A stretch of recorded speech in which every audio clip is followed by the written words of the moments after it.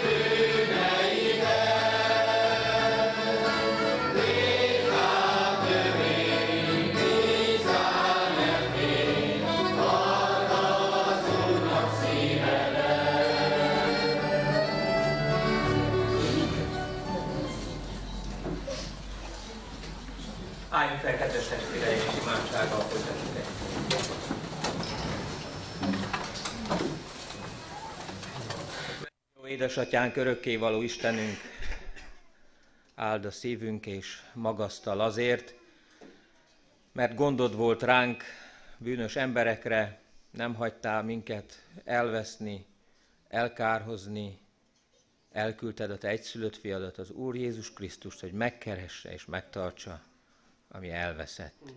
Köszönjük, Úr Jézus, hogy nem hiába jöttél erre a földre. És sokan vagyunk tanúbizonyságai annak, hogy a te áldozatod elérte célját.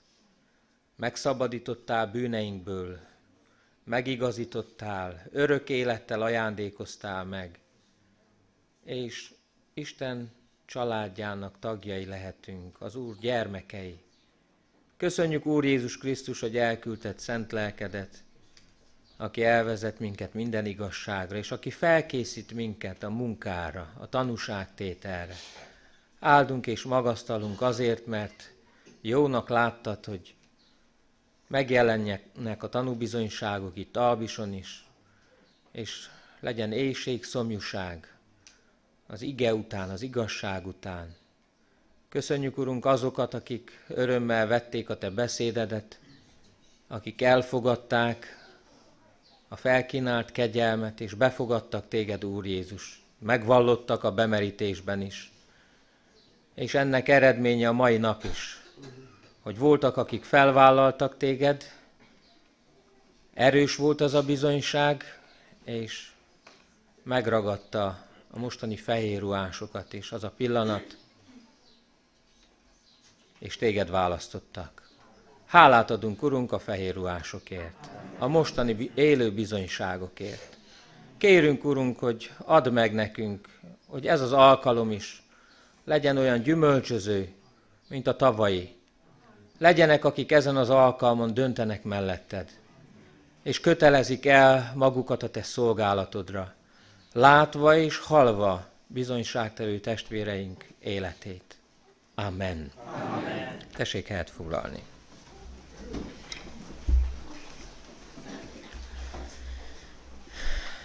Szeretettel köszöntök mindenkit az Úr Jézus nevében. Örülök annak, hogy elérkezhettünk egy nagyon jó helyről, egy másik jó helyre. Az Úr kegyelméből néhányan fenn voltunk a hegyen ezen a hétvégén, a Hórep táborban, imádságban és bőjtben. Az Úr előtt voltunk, nagyon, nagyon áldott órákat, napokat tölthettünk együtt. Nehéz volt onnan eljönni. Egyik másik azt mondta, maradhatunk itt tovább, ahogy a tanítványok mondták az Úr Jézusnak. De ahogy akkor, most is le kellett jönni a hegyről, és ugyancsak egy nagyon jó helyre. Ugyancsak egy olyan helyre, ahol úgy gondolom, akik együtt vagyunk, azt fogjuk mondani egy óra múlva, két óra múlva, és hogy nem kéne még elmenni. Bárcsak tartana tovább ez az alkalom. Miért? Azért, mert amikor az Isten munkálkodik, amikor a, az Úrnak a keze alkotásait figyeljük, az soha se unalmas. Az mindig bámulatos, az csodálatos. És amikor az ember belefeledkezik az isteni csodákba, az ő alkotásaiba, akkor ott eltűnik az idő, akkor ott kikapcsol az ember, és nem számít, hogy mi van a távoli nagyvilágban. Hát kívánom, hogy ezen a délutáni alkalmon mindenki tapasztalja meg ezt. Lássa meg az Isten csodáit a fehér ruhásokban. Mert hogy ők itt vannak előttünk, ez nem emberi erőködés, nem emberi akarat, gyümölcse, erőfeszítése, hanem az Isten kegyelme. Tetszett az Istennek ezt a két testvérnőt kiragadni abból az állapotból, ahol voltak, 60 valahány évig, és új élettel megajándékozni. És adott nekik bátorságot, hogy fel is vállalják, hogy az urat választják. Hát erről fognak majd ők is bizonyságot tenni. Szeretettel köszöntöm a vendégeket, akik közelebbről, távolabbról érkeztek. Nem is tudok én mindenkit felsorolni, de akik itt vannak éppen mellettem, megemlítem Dan László testvért. Köszöntöm szeretettel. Magyarországról, aki fogja Isten igéjét hirdetni közöttünk. Áldja meg az Úr őt, hogy erővel és hatalommal hirdesse az evangéliumot. Aztán köszöntöm szeretettel Bocskor Viktor testvéremet Kárpátaljáról, ottani szolgatásamat, majd gondolom neki is lesz lehetősége bizonyságot tenni, röviden arról, hogy mit cselekedett az Úr az ő életébe. És vele együtt érkezett egy másik vezető testvér, a gyülekezetükből Szilágyi Béla testvér, köszöntjük őt is szeretettel. És mindazokat, akik közelebbről jöttek. Itt vannak a Szilágy Péri testvérek, meg a Kéci testvérek. Az Úr áldja meg a szolgálatukat és legyen valóságos áldozat, ami kedves az Isten előtt. Szeretnék néhány igeverset felolvasni bevezetésképpen a ma délutánhoz, ami nagyon illik ehhez az alkalomhoz, a Márk evangélium, a 8. részéből. A Márk írása szerint való evangélium 8. részének 34. versétől a rész végéig, a 38-as versig olvasom Isten igéjét. Hallgassuk figyelmesen. Ekkor magához hívta a sokaságot tanítványaival együtt, és ezt mondta nekik.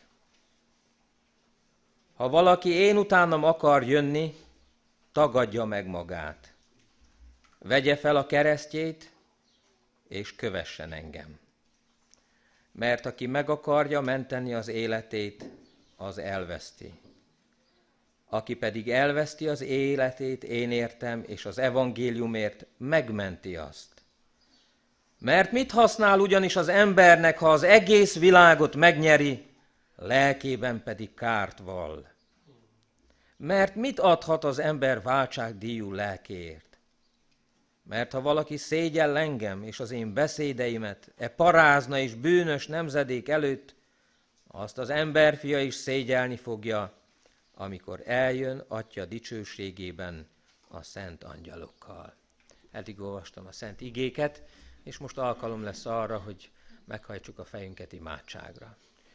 És akiknek a szívében van, van hálaadás azért, mert megtalálta őket az Isten nagy kegyelme, és ezt fel is vállalták, hogy Istenhez tartoznak, hogy az Urat választják, a bemerítésben is, nem szégyelték, és ennek örülnek, hogy az Úr adott ehhez erőt, azok adjanak ezért hálát.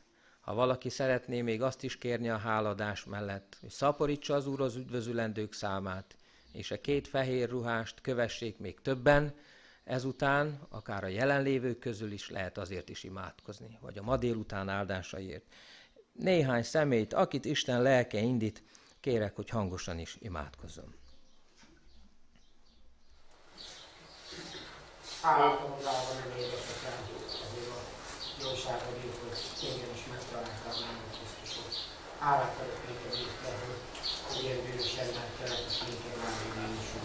Áld meg ezt a gyülekezetet, áld meg a felhívásokat, adj meg meg és a kedára szent nevedet dicsérjük sokat.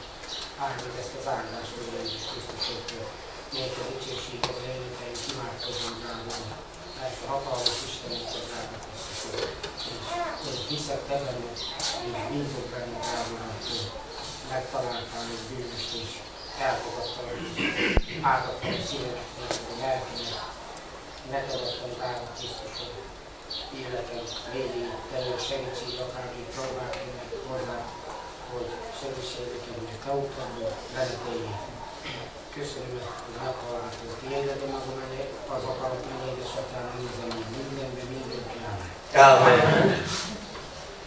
Hálás szíve jöttél, hogy elmondom, köszönöm Békre Dávidnak a mai alkalmat, köszönöm, hogy eljöttem, hallgathassam válaszolni kígyódat, köszönöm, hogy egykor megváltottál lényemet, hogy Dávid. Köszönöm, hogy te kereszt alá haltál lényedet, hogy Dávid, hogy a bűnösséget elmondtam Dávid. Köszönöm, hogy megtaláltál, és világosságot tisztját mutattam, hogy Dávid táld meg azt a gyülekezetet, táld meg a fejéruhásokat, drágulom. És kérek, drágulom, hogy te, te munkákat el a gyülekezetben, faluban, drágulom, sok megtérő lehessen, faluban, drágulom. Teszed nevedbe kértem, mindegyek Amen. Mennyi édesatyánk, hálát adunk neked a kegyelmedért. Köszönjük édesek érték, az Úr Jézusnak. Köszönjük ezt az ünnepét, hogy együtt örvendezhetünk a mennyei sereggel, féljelvás testvérünkkel. Adj az olyan, hogy sokan, hogy megismernek téged ebben a faluban és a körzetben, és szerte a világon, hogy neked tudjanak szolgálni, jöjjenek ki a sötétségből a világosságra. Áld meg az igei érdekőket, áld meg a bemérítők, pásztor, testvérünket, adjál neki erőt a mentő, ruhász el mennyi ruhával szolgálatokat és biztonságfeleléseket. Fogadd el hódolatokat és imánkat a te fiad Jézusért, a te dicsőséget. Amen. Amen. Hála van az én szívem, Uram Jézus, a mai napért is drága megváltom. Hálás vagyok én is, hogy elfogadtál mindenet is, Uram. Hálás vagyok neked a fejlődésásokért. Hálás vagyok neked az evangéliumért. Uram Jézusom, arra kérlek még, hogy add meg nekünk azt, hogy mi, mi imaházunk is gyűjjön meg teljesen, Uram Jézusom, mert még van sok szék, ami üres, drága megváltom. Hálát adok neked, Uram Jézusom, hogy mi is felvehetjük egykor a fehér ruhát. Hálát adok neked, Uram Jézusom, hogy Te vagy és létezel, Uram Jézusom. Hálát adok neked, Uram Jézusom, hogy meghallgatsz minnyájunkat. Az Atya, a Fiú, Szentlélek nevébe. Amen. Amen. Hálás az én szívem Uram Jézusom, hogy itt az alkalommal. Úgy csak dicsőíteni és magasztalni tudom a te nevedet. Örvend az én szívem, Uram, hogy újra láthatom a te dicsőségedet, Uram, hogy újra kiválasztottál két személy. De tudom, hogy vannak, és hiszem is, hogy vannak még sokan, Uram. De adjad, Atyám Istenem, hogy ez a hely itt meg legyen áldva, te szentségedből, Uram. Hogy sokan legyenek, és sokan jöjjenek ide, hogy szeretet és békesség legyen, Uram. Aki ide beteszi, Úr Jézus Krisztusom a lábát, a te Krisztusi szeretetet, ölelj őket. Áld meg, Uram, ezt az alkalmat, áldjál meg együttlétünket. Áld meg a pásztorokat, áld meg azokat, akik szolgálnak. Áld meg a fehér ruhákat, hogy meg, ruhásokat, hogy meg tudjanak állni, amikor jönnek a próbák, Uram. Adj nekik erőt a mennyből, adj nekik értelmet és bölcsességet, Uram. Te vezest az igazság ösvényét, hogy még jobban is megismerjenek tégedet. Az igazságot, az életet, az utat, mint Jézus Krisztus. Segíts nekik, Atyám Istenem, hogy Jézus Krisztusba vetett hitök megmaradjon mindörökké. Amen. Amen.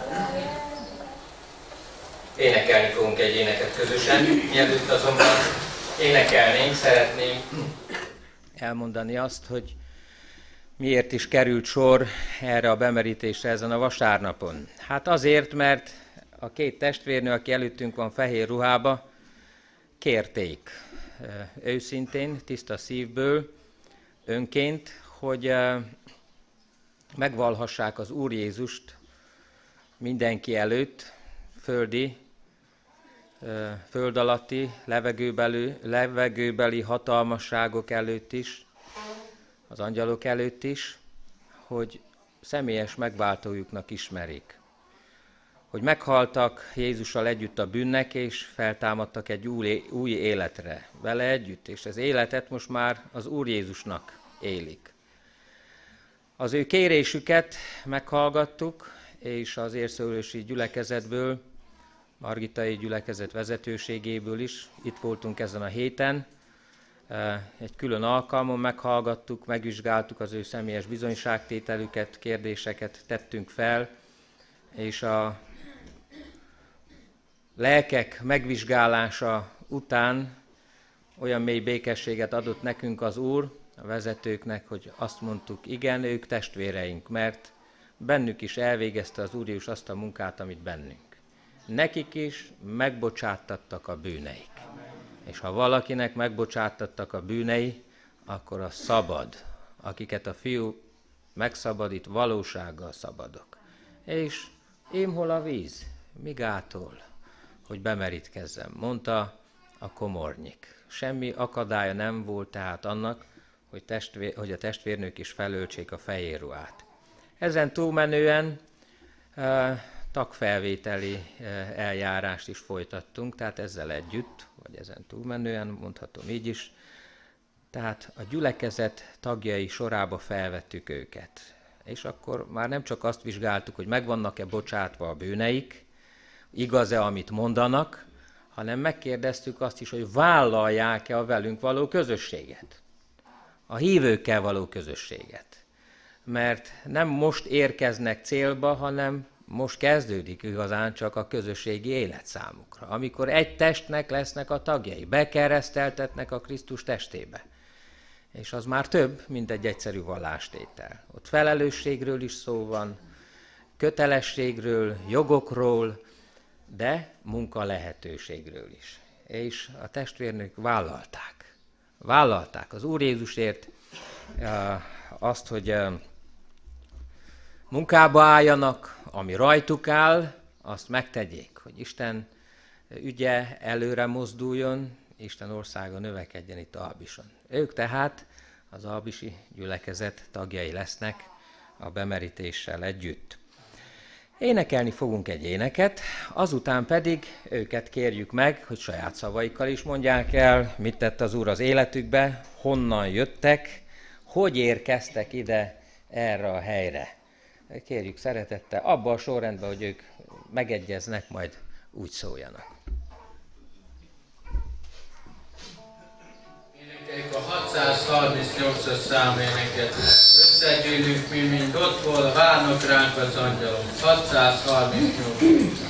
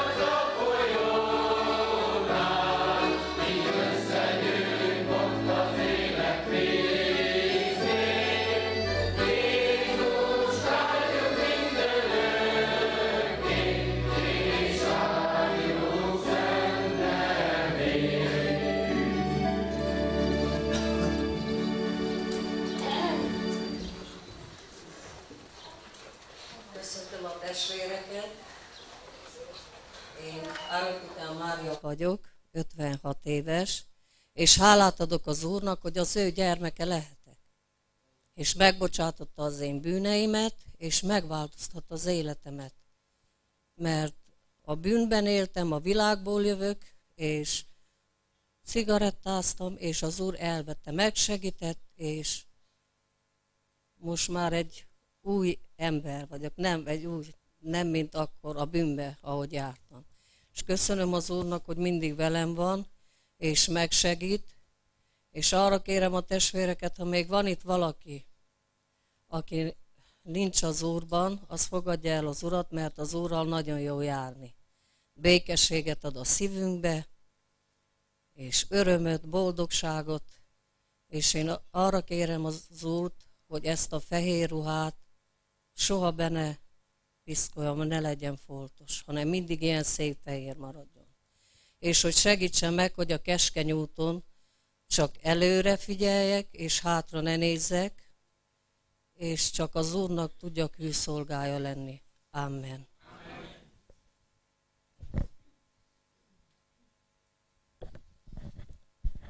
Szeretettel köszöntöm a testvéreket és a vendégeket, a lelki pásztorokat. Én Martin Ilona vagyok. Martin Ilona vagyok. 65 évet töltöttem januárban. Hát én is elmondhatom, négy gyereket szültem, négy gyerekem van. Egy van velem itt, most a kisebbik lányom, mert mind elment a megélhetésért külföldre, és nagyon magányos voltam, mert férjem meghalt 19 éve, az édesanyám három éve, és ezzel a magányal nem voltam megszokva. Annyira ki voltam már idegileg készülve és lelkileg, hogy nem, nem nagyon rosszul éreztem magam, és jött a Sanyi testvér, és mondta, hogy Ica néni, miért nem jön el az imaházba? Nézze meg, mennyivel megváltozik az élete, hogyha fog járni az imaházba. Nem lesz bánatos, másabb lesz az élete. Megfogadtam a szavát, elmentem egy alkalommal, akkor még nem éreztem is, nem is valamit, mint egy első, aki először megy imaházba. De már akkor másik héten vasárnap újra vágytam. Attól kezdve soha nem hagytam, csak ha nagyon nagy problémám volt, akkor maradtam kazimaházból. Hálátatok a drága mennybéli Úr Jézusomnak, hogy engemet is megváltott, és az ő gyereke lehetek. Mert azóta, mióta az ő gyereke vagyok, azóta nem ismerek félelmet, ideget, rossz közérzetem nincs sose, és jobban szeretem fele barátaim, addig is szerettem mindenkit, úgy legyen az roma, mint magyar, mert én előttem nem volt emberválogatás, mert Isten csak ember teremtett, nemzetet nem. És örömmel mondhatom, hogy ilyen boldog még nem voltam, mint amióta az imaházba járok. És arra kérem a drága Úr Jézusomat, vezessen azon az úton tovább, amelyiken elindultam, azon a keskeny úton, és adjon erőt, hogy onnan soha ne tudjak letérni, és a fehér ruhámon fót ne essen, hogy csak benne bízzak, és tiszta szívvel befogadtam a szívembe. Legyen áldott az ő szent neve, most és mindörökre. Amen. Amen.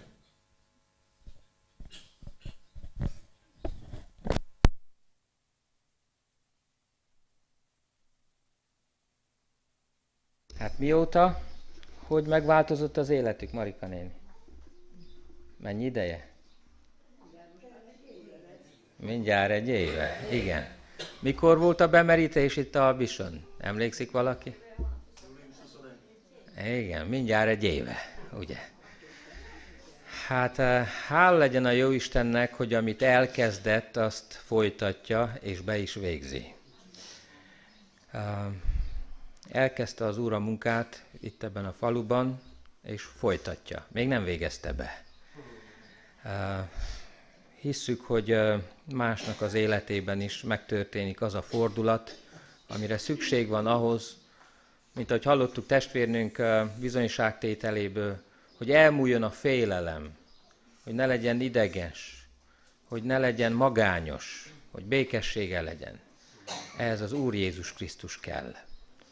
Emlékszem, amikor Marika nénivel találkoztam először, hát annak már megvan egy éve. Megvan egy éve, az utcán futottunk össze, első találkozás alkalom, éppen kerestük a helyet, hogy hol is építhetnénk imaházat, vagy hol találhatnánk egy helyet imaháznak valót.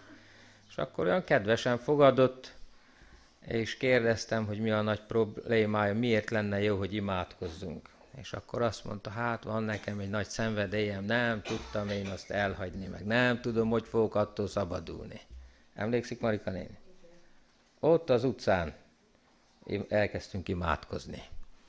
És elindult valami, az Úr tovább folytatta. És aztán megszabadította. Végleg. Attól a szenvedélytől megbocsátotta minden bűnét. és ugyanúgy itt a testvérnőnek is. Hát kívánjuk ezt az örömet még másnak is. Énekelni fogunk még egy éneket, azután pedig az ige olvasás és az ige hirdetés következik Dan László testvér részéről. Hallgassuk majd kellő figyelemmel és alázattal. Közösen énekeljünk.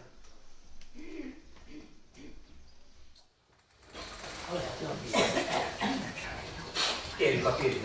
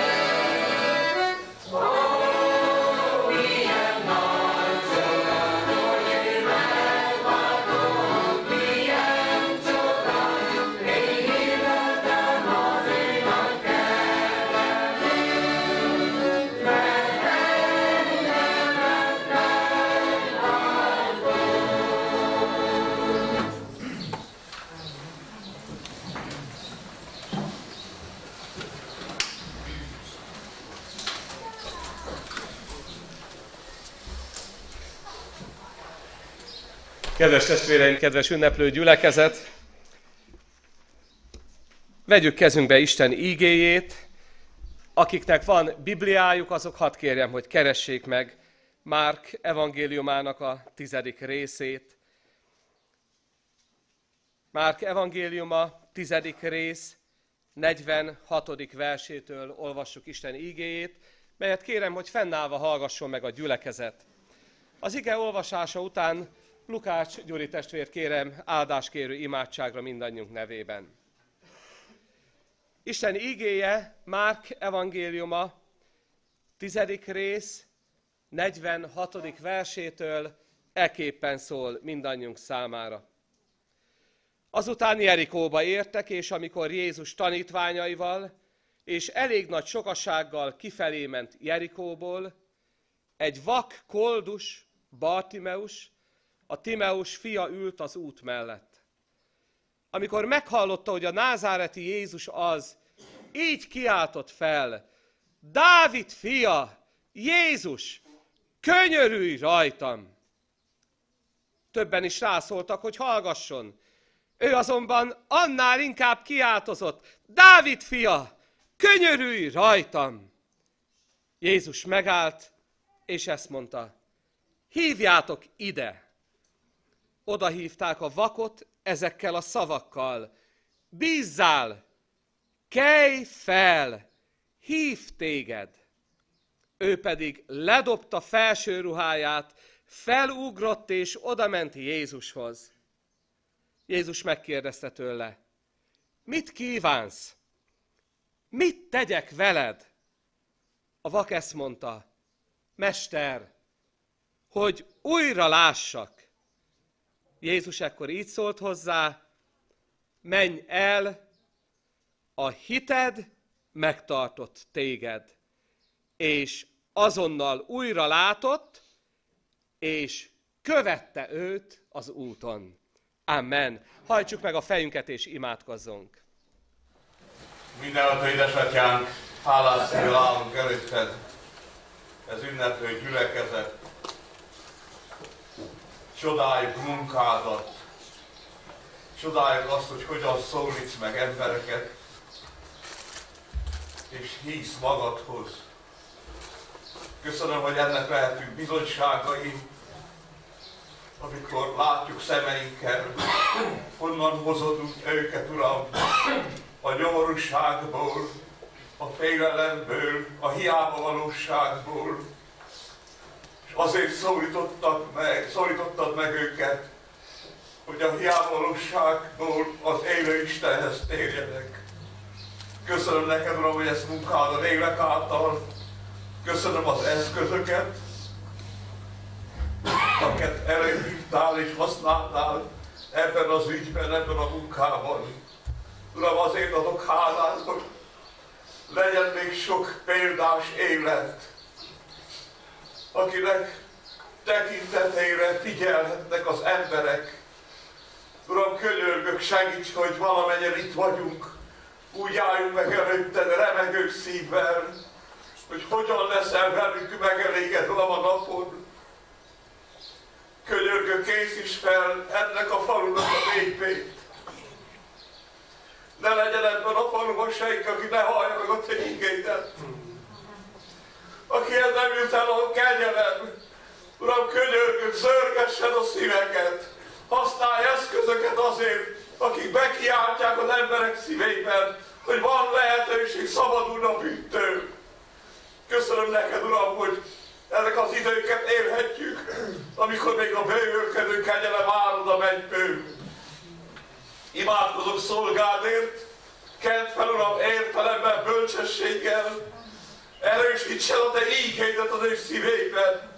Hagyjad, hogy annak legyen hatása mindannyiunkra, hogy valójában magunkba szállva megérthessük ezen a délutánon, hogy minket is hívsz. Nem csak a vak koldusra volt szükséged, nekünk is, Uram, akik vak, lelkile vakságban éltünk, szükségünk vagy, hogy hozzád és meggyógyulhassunk, és hitáltal járhassuk földi útunkat. Könyörgök hát meg a hallgató gyülekezetet, és nyissad meg a szíveket, hogy eljusson a te ígéid mindazokhoz, akik még nem ismernek tégedet. Hallgassad meg imánkat, és dicsőítsd meg magad ezen a helyen. Amen. Amen. Foglaljon helyet a gyülekezet.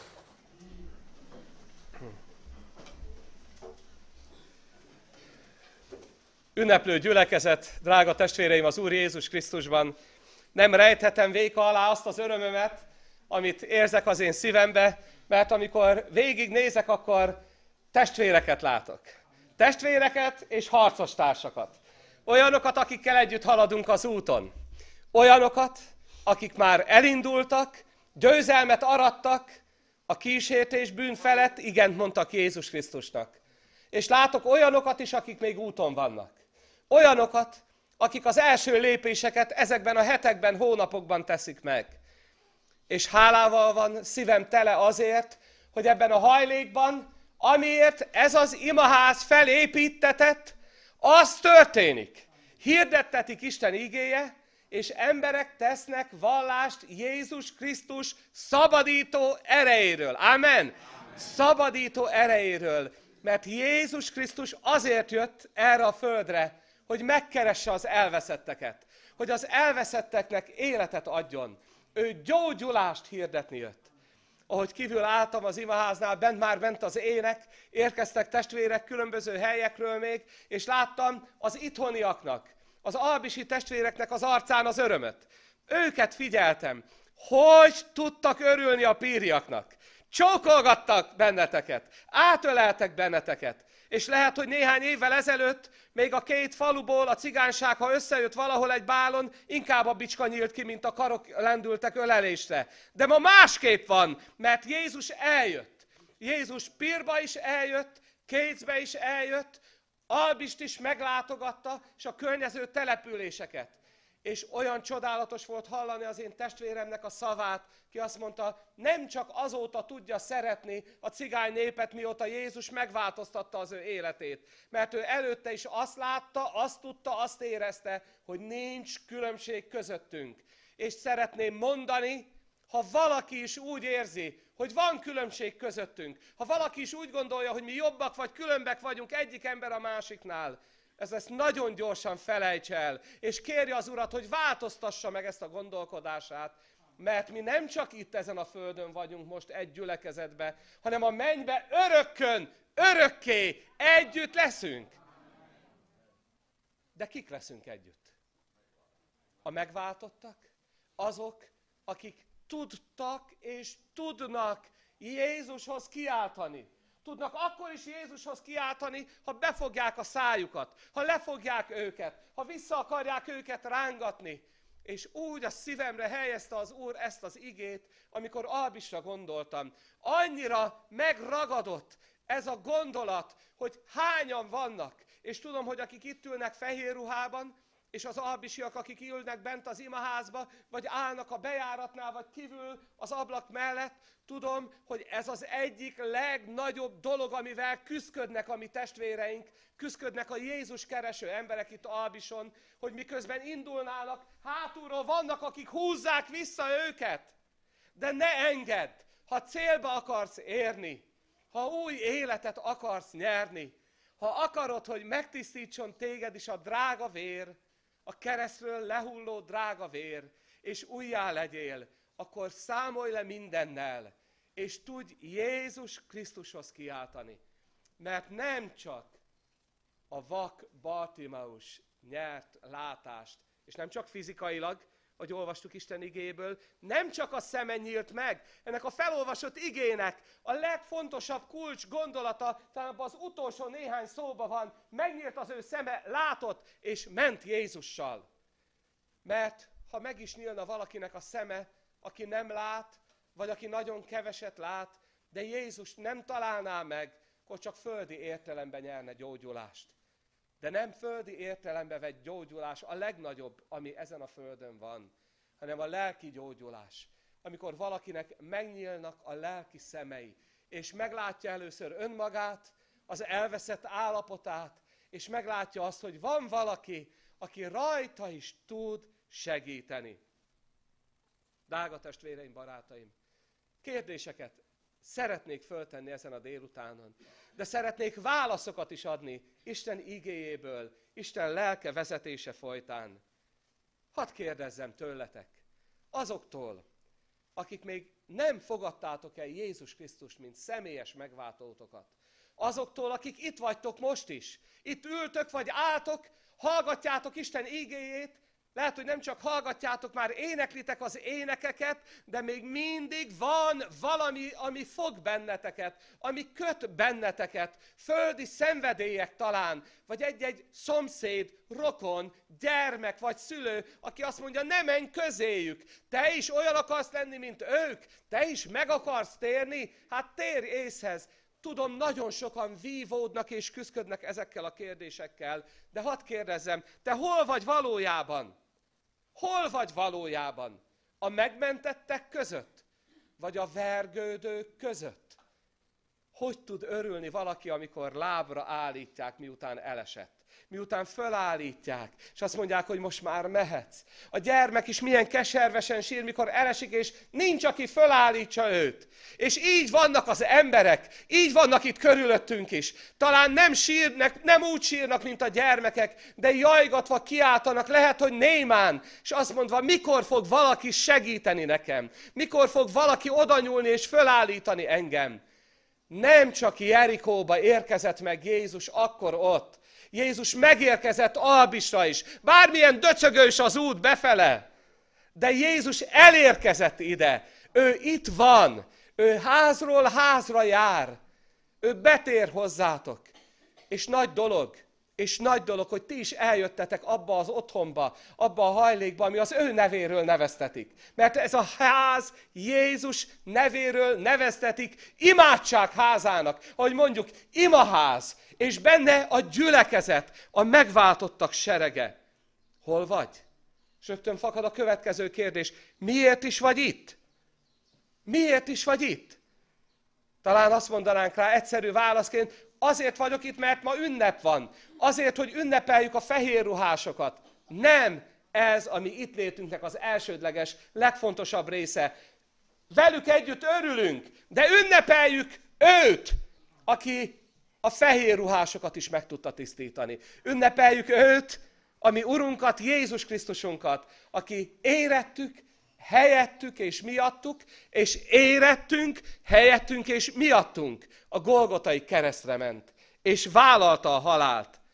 Ahhoz, hogy az életünkbe változás történjen, Jézus közelében kell lennünk. Aki nincs Jézus közelében, aki nincs ott Jézusnál, kinek nincs Jézus elérhető közelségben az életében, annak az élete tragédiák sorozata és reménytelenség.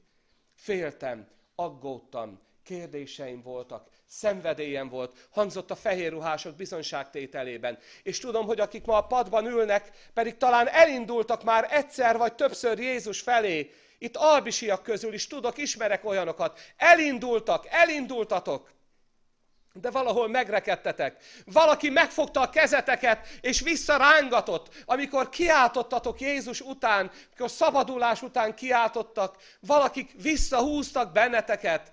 Mikor jön el az az idő, amikor ezek a visszahúzó karok már nem lesznek erősek? Mikor jön el az az idő, amikor az, aki legyőzte a bűnt, úgy tud megragadni benneteket, hogy senki és semmi ne legyen ami meggátol benneteket abban, hogy kimondjátok, itt vagyok Jézusom, Uram, itt vagyok előtted, tisztíts meg engem teljesen. Vak, koldus, ez vagyok én is, és ez vagy te is, Jézus Krisztus nélkül. Vak is, nem látva, mi történik körülöttem, koldus is, reménytelenül, talán kiültetve az út szélére, egy-egy olyan helyre, ahol emberek könyörületből néhány fillért adnak, egy-két lejt, kenyérre valót, ne ebbe a koldus életbe akarj élni. Isten sokkal jobbat, sokkal többet és sokkal szebbet kínál neked. Ő, ahogy Jerikóba bement az övével, és ott volt, ő itt van most Albison is. Itt van ezen a délutánon. És ne maradj meg koldusként. Ne maradj meg vak emberként, a bűn sötétségében élve reménytelenül kilátástalanul. Mert aki eljött és aki itt van, ő azt akarja, hogy te koldusból az ő gyermeke legyél. aki átéli a szabadulás örömét, akinek megnyílik a látása, akinek megnyílnak a lelki szemei, aki észreveszi azt, hogy sokkal többen vannak velünk, mint ellenünk. Áldom az Urat, amikor végignézek a gyülekezeten, és hadd mondjam újra, és újra, és újra, és látom a megváltottak arcán a mosolyt, a békességet, az örömöt. Hallom az énekeiteket, testvéreim, hallom az imádságaitokat, és hiszem, hogy a mi Urunk Istenünk akar és tud adni még ilyen alkalmakat, amikor szaporítja az ő népét itt Albison is. És ma még több a vendég, mint a helyi, de eljön az az idő, amikor majd Albisról fognak menni a megtért újjászületett lelkek a környező falvakba, és hirdetik Istennek az ígéjét. Mert Istennek az a terve, hogy az emberek hitre jutva mások felé is szolgáljanak. Jó ezt látni, jó ezt hinni, és jó efelől meggyőződve lenni. Hallottál már Jézusról? Ma hallhatsz róla, minden őróla szól. Jézusról szólnak a bizonyságtételek, róla szélt az ének, hogy Béla testvér szembeállt a píri testvérekkel, és elkezdték énekelni, feltámad hős, úgy átjárta a szívemet, a lelkemet. És tudom, hogy így volt ez a gyülekezettel is. Feltámad hős, akit ünneplünk. És ez a feltámad hős azért jött el, hogy neked, neked, neked, aki itt vagy, meg nekem életet adjon. Könyörüljön rajtunk. Ő az, aki itt van. És ha Jézus itt van, akkor valaminek történnie kell. Nem lehet az, hogy én véletlenül vagyok itt ezen a helyen. Senki közületek, aki itt van ma, nem véletlenül jött el. Nem azért jöttél el csupán, mert hívott a szomszédasszony vagy a szomszédember. Nem azért vagy itt, mert tudtál a bemerítésről, és ott volt egy vágy a szívedbe, hogy elgyere ide, hanem valaki hívott téged örökkévaló szent hívással. Érezted belül, talán nem is tudod ki. Én megmondom, hogy ki. A Szent Lélek Isten hívott téged erre az alkalomra. Hívott egy belső hang, és azt mondta, indulnod kell. Lehet, hogy a falu végéről, lehet, hogy föntről a cigánysorról, lehet, hogy más falvakból, lehet, hogy betegágyadból állított fel. Nem lehet akadály még egy bot sem. Nem lehet akadály az idősebb kor. Isten előtt semmi akadály nincs. Visszaemlékszek én is szolgálatom folyamán egész fiatal, hitvalló bemerítkezőkre, visszaemlékszek olyanra is, aki 80 év fölött volt.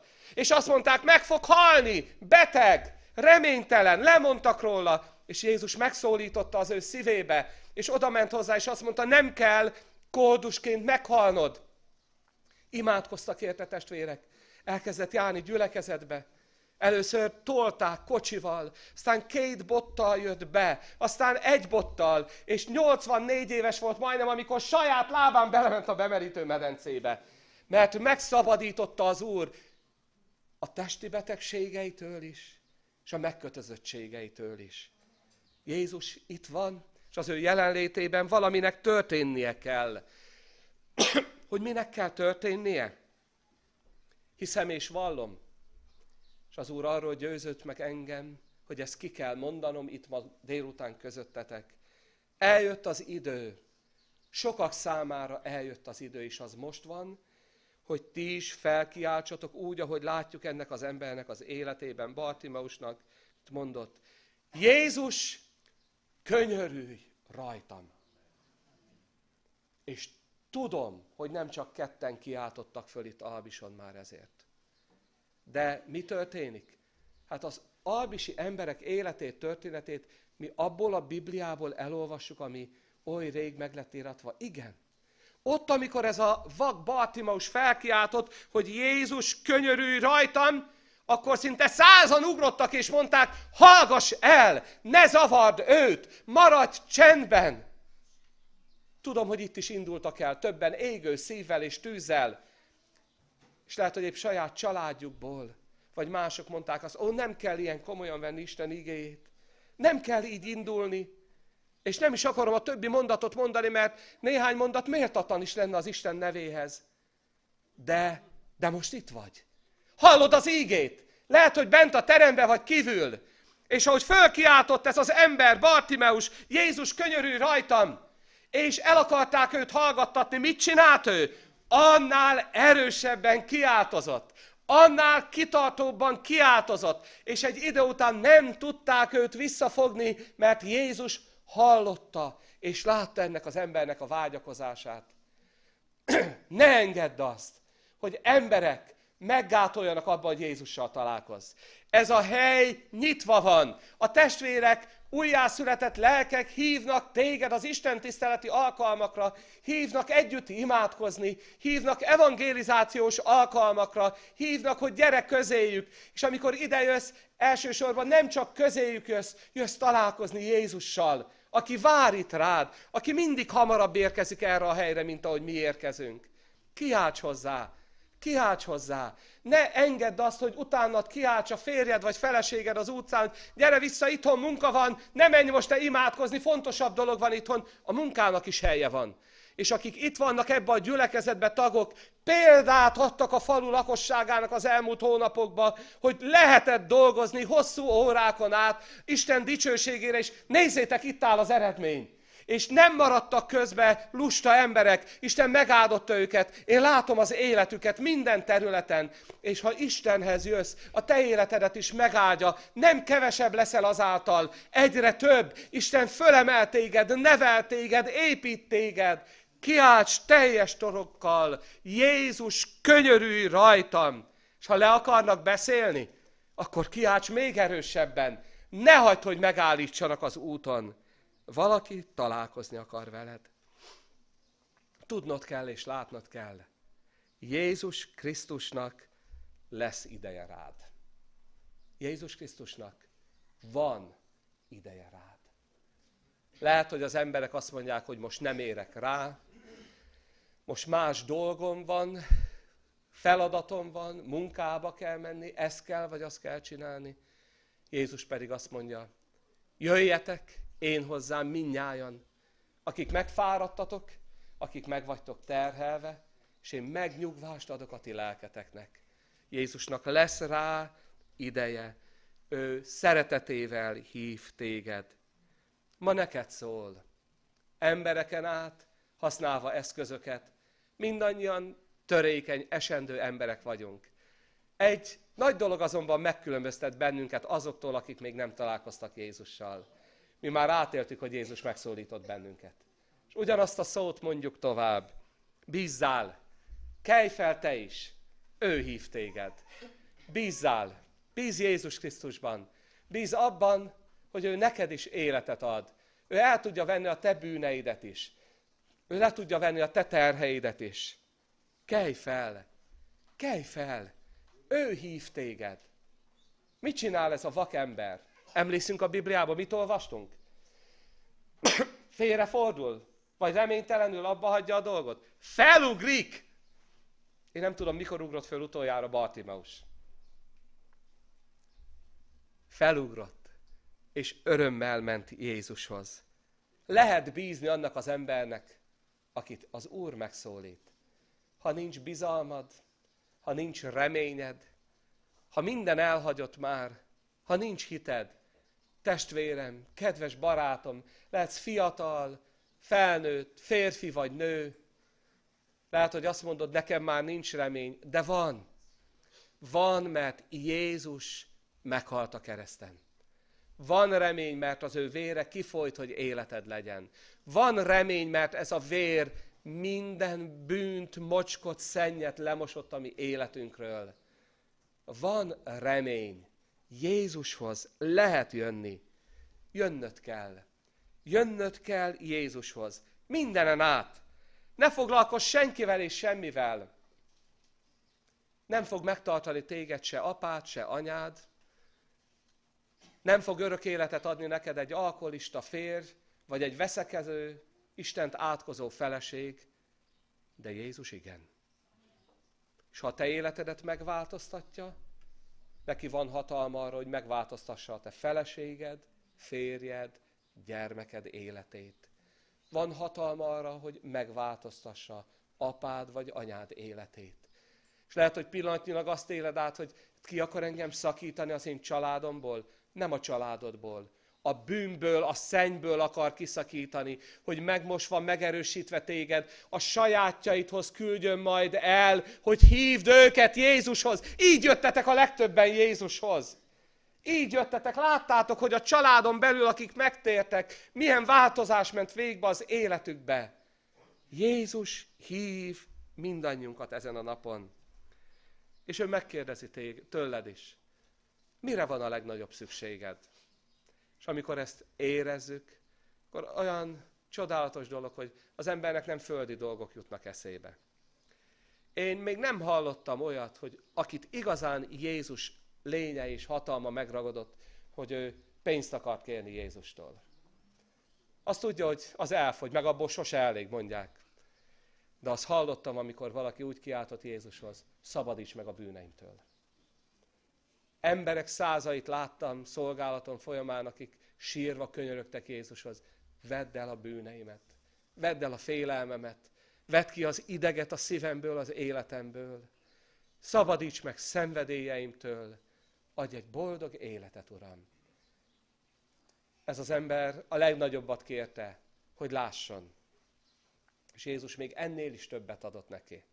Nem csak a földi, fizikai szemét, látását adta vissza, és azt nyerte vissza, nem lelki látást kapott. Különbséget tudott tenni jó és rossz között. Hitet, élő hitet kapott. Ez a legnagyobb dolog. Hittem benned, s most imez engem. Ezért zengjük mi is az éneket. Ezért zengjük mi is, és mondjuk az igét. És nem lehet lefogni bennünket, hogy ne mondjuk. Mondjuk. Kinyitjuk a szánkat, bizonságot teszünk Jézusról, hirdetjük az ő igéjét, csak őtől, ami Urunktól tudunk élő hitet, megváltott életet kapni, és olyan jó erről bizonságot tenni. Mi az, amit mondhatok? A lélek által nem tudok mást mondani, csak azt. Fogadd el te is őt. Kiálts hozzá. Kiálts mindenen át. Ne hagyd, hogy lebeszéljenek az emberek. Ne foglalkozz vele, ha csúfolnak, ha megvetnek, ha kinevetnek. Hidd el, Jézus mindennél többet tud neked adni. Örök életet, amit senki és semmi nem vehet el tőled. Ő kész ezt az örök életet átnyújtani neked. Mikor? Holnap? Jövőre? Ma. Most. Isten igéje úgy szól hozzánk, ma, ha az ő szavát halljátok, ne keményítsétek meg a ti szíveteket. Ha látod majd a hitvalló bemerítkezőket, ha hallod Isten szolgáját, ajkán az ígéket, akkor állj az Úr elé, és mondd ki, Uram, én behívlak téged az én életembe. Uram, elfogadlak téged, követni akarlak téged. És egy ének, néhány gondolat, a szava az, amit szeretnék befejező gondolatként szívetekre helyezni. És sokszor úgy gondoljuk, hogy úgy kell Jézushoz mennünk, hogy tökéletesek vagyunk. Az orvoshoz nem úgy szoktunk oda menni, hogy doktor úr, én olyan beteg voltam a múlt hónapban, de most olyan egészséges vagyok, 12 órát dolgozok kinn a földön, mindent meg tudok csinálni. Mit mondan az orvos? Hát menjen, az folytassa. Akkor megyünk az orvoshoz, amikor betegek vagyunk. Doktor úr, járni alig tudok, szenvedek. És akkor kapsz gyógyszert, és meggyógyít. Hogy kell Jézushoz jönni? Az énekíró azt mondja, amint vagyok, csak úgy jövök. Neked is így kell Jézushoz jönni. Bűneiddel, terheiddel jönni hozzá, aki mit ígér? Hogy megszabadít, hogy megtisztít, és új életet ad. Kívánva kívánom, minél többen éljék át ezt a csodát. Ezen a napon, ezekben a percekben is. Amen. Amen.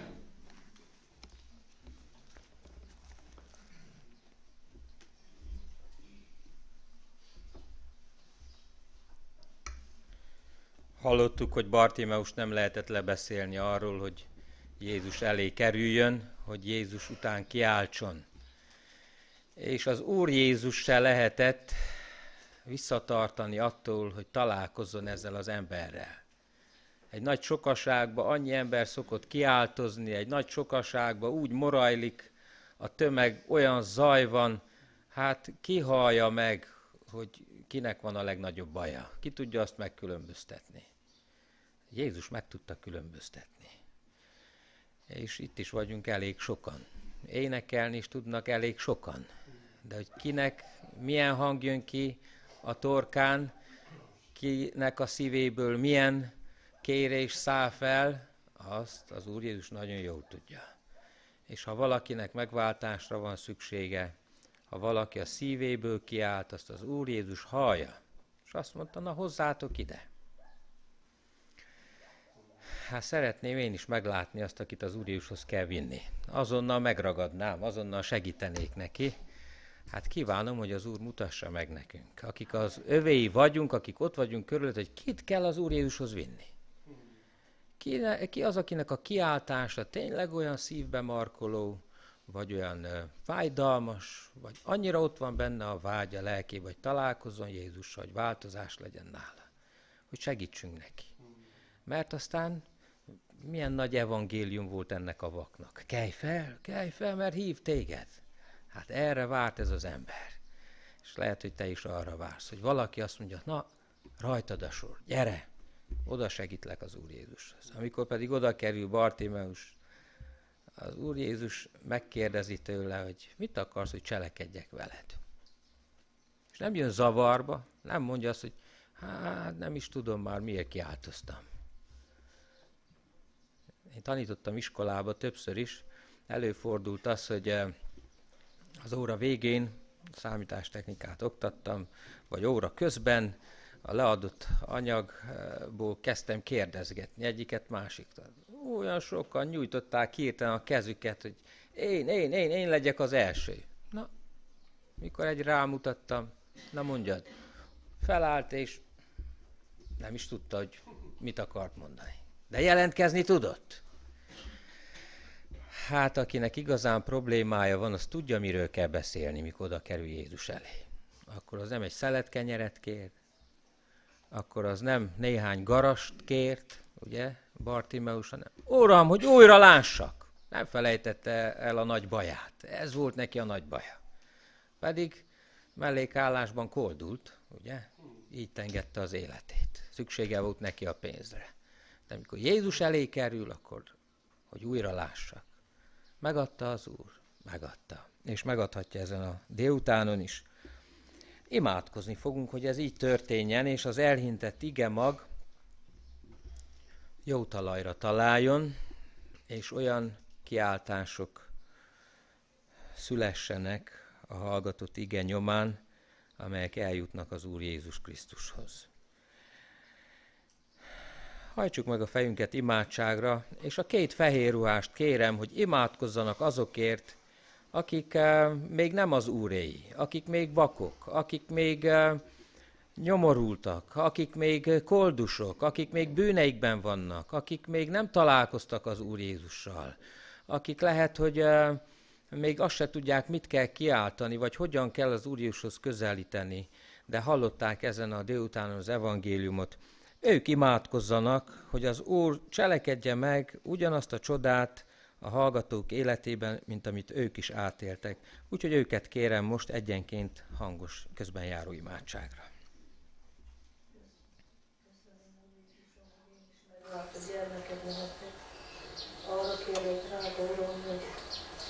segíts meg azokat és akik még nem ismernek téged, hogy elfogadjanak, Uram. Lágyis meg a szívüket, Úr Jézusom, hogy lássák, hogy mi fehér vagyunk, és hogy ők is felversék a fehér ruhát, kívánják meg, drága Úr Jézusom. Arra kérlek, hogy te legyél velünk, és add, hogy ebben a faluban sok megtérő lélek legyen. Drága Úr Jézusom, kérlek, az Úr Jézus nevében, hallgassál Amen. Drága Úr Jézusom, köszönöm a jelenlétedet. Kérlek, téged, drága Úr Jézusom, egyáltalán hallgassatok velünk.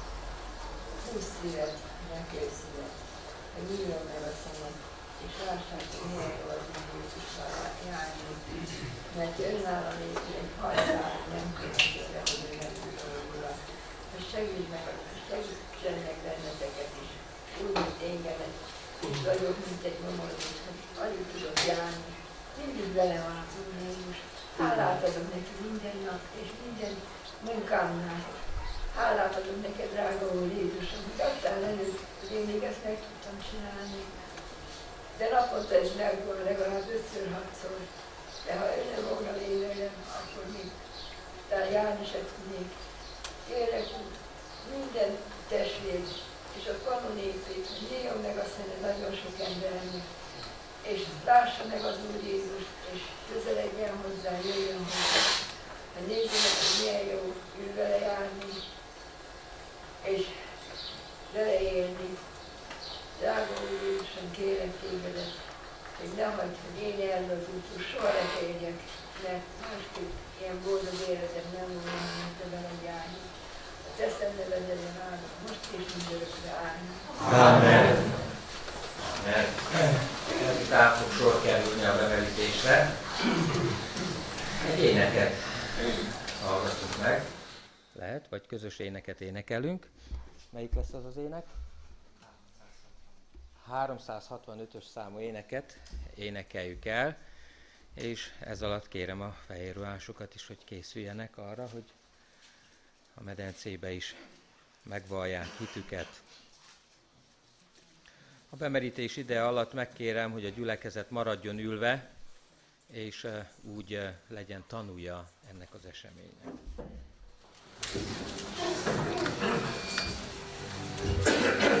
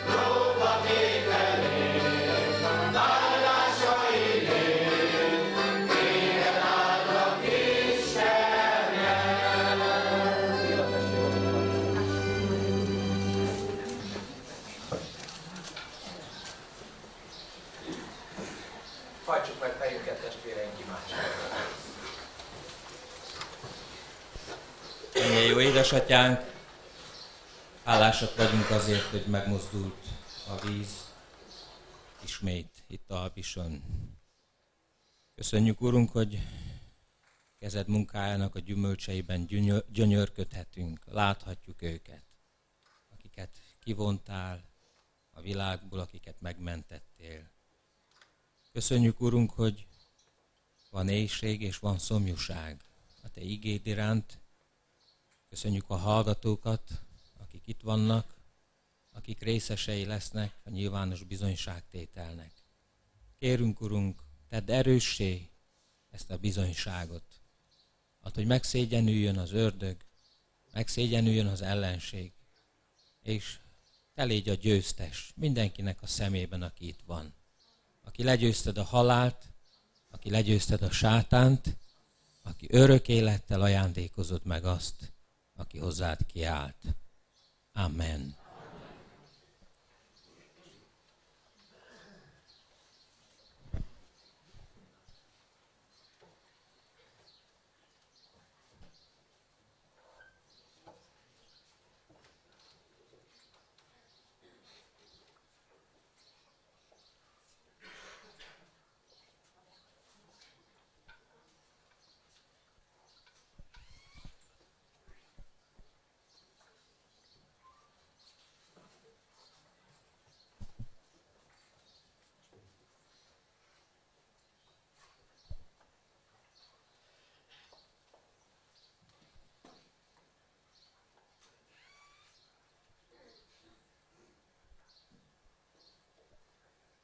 Mert az Isten a mi hozzánk való szerelmét abban mutatta meg, hogy amikor még bűnösök voltunk, Krisztus érettünk meghalt. Kedves Mária testvérnő, hiszed és vallod, hogy Jézus Krisztus az Isten egyszülött fia, a te személyes megváltód? Hiszem és vallom. A te hitednek vallomására bemerítelek téged az atyának, a fiúnak és a Szentlélek Istennek nevében. Amen.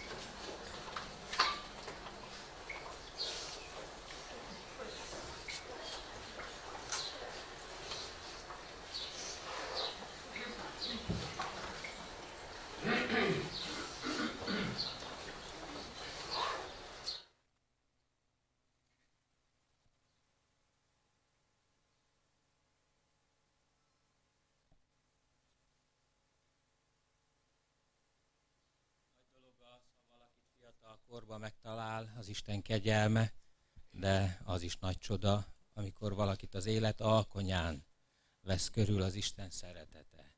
És hiába fizikai gyengeség, hiába törékenység, mégis itt állhat a vízbe a mi testvérnünk. Azért, ha valaki Krisztusban van, új teremtés az. A régiek elmúltak, imé újjá lett minden. Kedves Ica testvérnő, hiszed és vallod, hogy Jézus Krisztus az Isten egyszülött fia, te személyes megváltód? Hiszem és vallom. A te hitednek vallomására bemerítelek téged az atyának, a fiúnak és a Szentlélek Istennek nevében. Amen. Mindannyian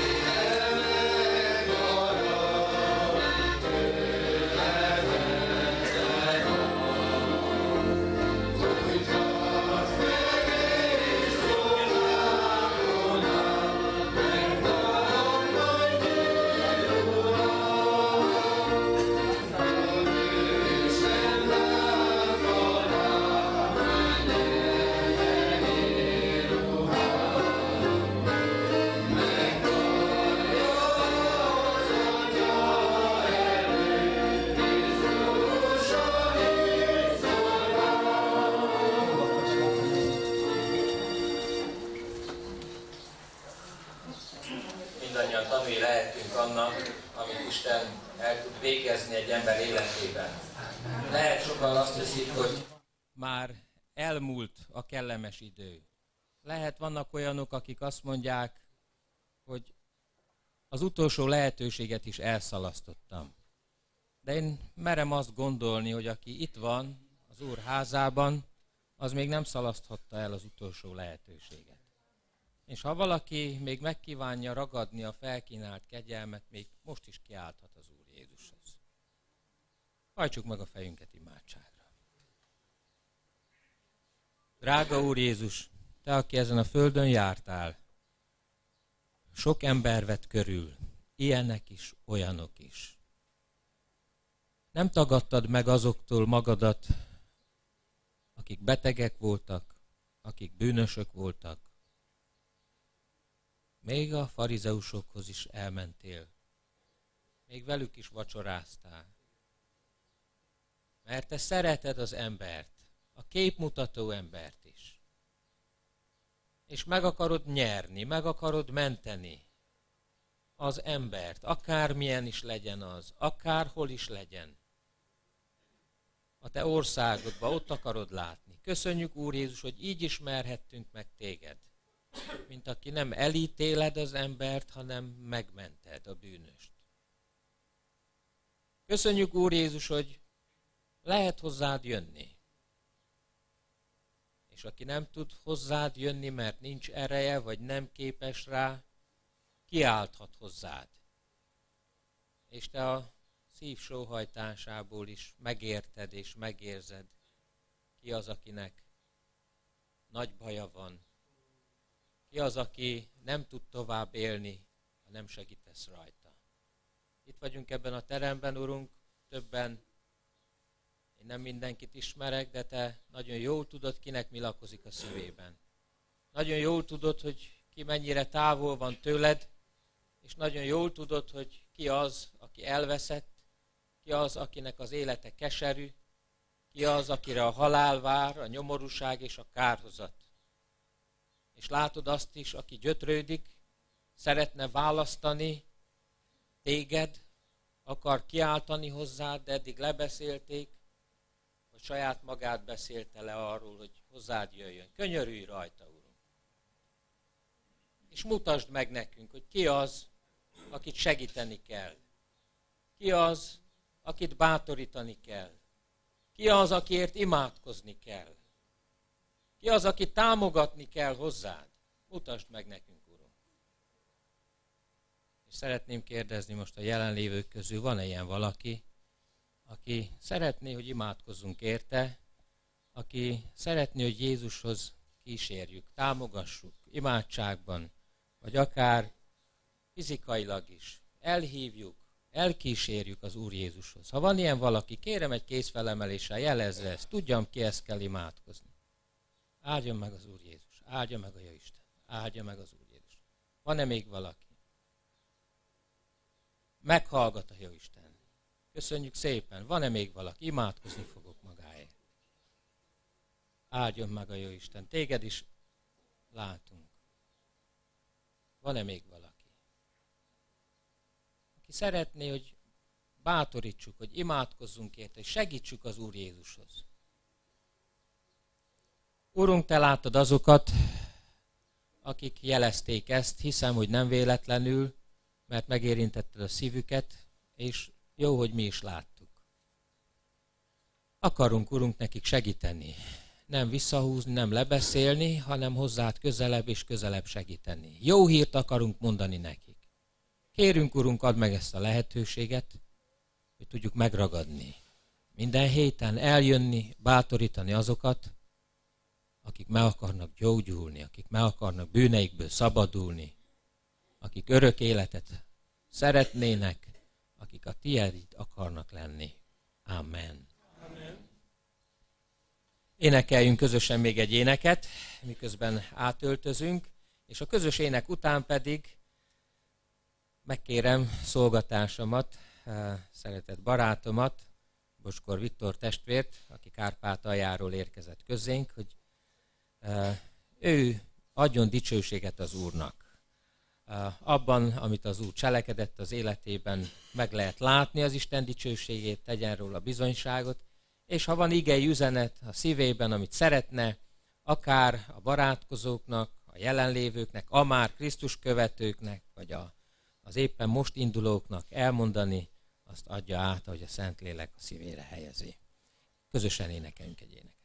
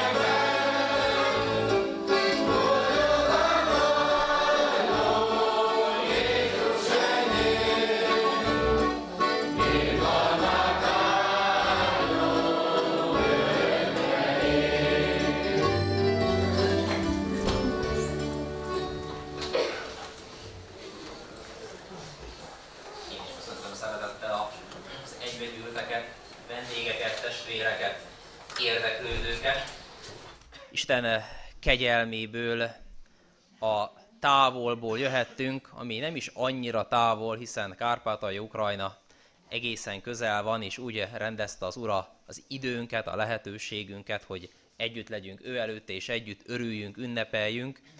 Én szeretném köszönteni a jelenlévőket a Lukács írása szerinti evangélium 19. részéből, a 19. rész első tíz versét olvasom fel, és így szeretnék szólni magamról is, és szólni az én Uramról, Jézus Krisztusról egy néhány mondatban.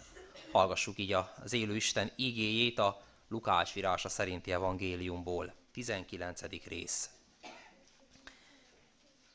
Ezután Jerikóba ért Jézus, és áthaladt rajta. Élt ott egy Zákaus nevű gazdag ember, aki fővámszedő volt. Szerette volna látni, hogy ki az a Jézus, de kis termetű lévén nem láthatta a sokaságtól. Ezért előre futott és felmászott egy vadfügefára, hogy lássa őt, mert arra kellett elmennie. Amikor Jézus odaért, felnézett és így szólt hozzá. Zákeus, szállj le hamar, mert ma a te házadban kell megszállnom. Ekkor sietve leszállt és örömmel befogadta, akik pedig ezt látták, minnyájan zugolódtak és így szóltak, bűnös embernél szállt meg. Zákeus pedig előállt és ezt mondta az úrnak. Uram, íme vagyonom felét a szegényeknek adom, és ha valakitől valamit kizsaroltam, a négyszeressét adom vissza neki. Jézus így felelt neki, ma lett üdvösség ennek a háznak, mivel ő is Ábrahám fia. Mert az emberfia azért jött, hogy megkeresse és megtartsa az elveszettet. Ámen. Én szeretnék szeretettel köszönteni mindenkit, akármilyen távolról is jött.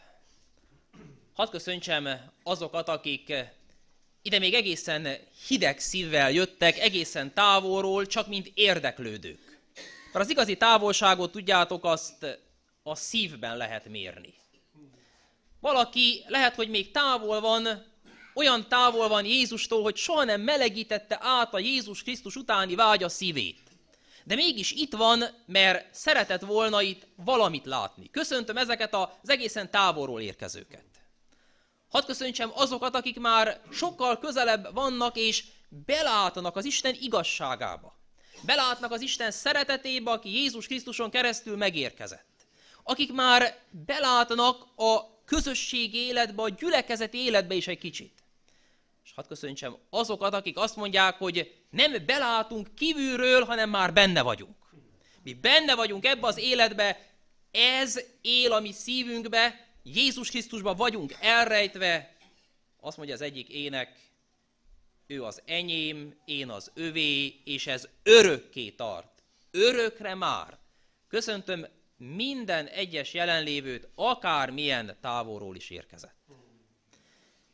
Bocskor Viktor vagyok, Isten kegyelméből egy 14 és fél éves koromba megfordított élet lehetek, aki akkor merítkeztem be 14 és fél évesen először.